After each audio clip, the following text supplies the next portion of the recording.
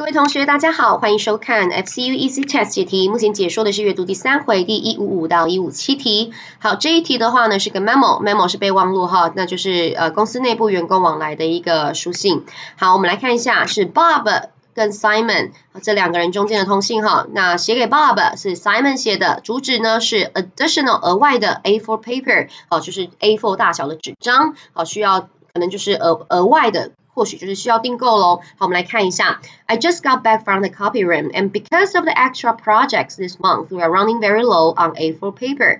那这边有一个因果句哈，因为什么？好，这一个月份我们有一些额外的案子要做，所以呢，我们怎么样？A4 paper run very low，不太够了。Sarah said she already ordered 500 extra reams, but they haven't arrived yet.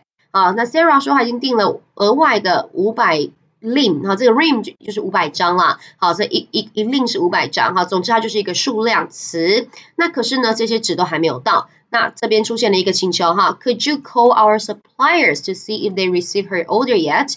好，那先打电话给我们的 supplier 供应商，来看看这个纸到底到了没。那如果呃呃，不是知道了没哈？如果他到底有没有收到 Sarah 的 order 订单？那如果有的话呢？Could they kindly step up delivery？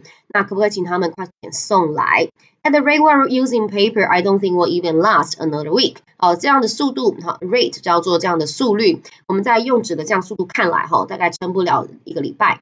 As to the billing，billing 就是寄发账单，账单的部分。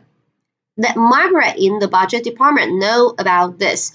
She can list it as emergency suppliers. 啊、uh,，sorry, emergency supplies. 啊，那这个我们可以请 Margaret 这个人呢，帮把这个账单呃部分好列为 emergency supplies，好，就是所谓紧急的供应品啦。那后面当然讲到就是呃，until we find out whether we'll need a permanent increase。 那这样就是先列为这个部分，我们再看情况而定。如果需要的话，可能会把它列为 permanent increase。permanent 叫永久的增量的部分。好，一百五十五题，为什么纸张使用会增加？这边有讲到 extra project，所以这题答案选到 C，都没有变字哈，很简单。一百五十六题，When will current supplies run out？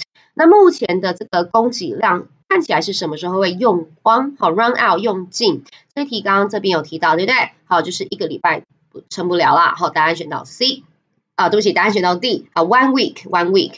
一百五十七题，emergency 这个单字哈，我们刚刚已经有看到喽，在第二段第二行，好，第二段在这里，好，这一里这里是第二段的第二行，emergency supplies，那它的意思最相近的是什么呢？好，这个紧急的或是临时的这样的意思，我们找到最相近的单字，找到的是 B，unexpected，叫做不预期的。以上为本题速讲解，谢谢。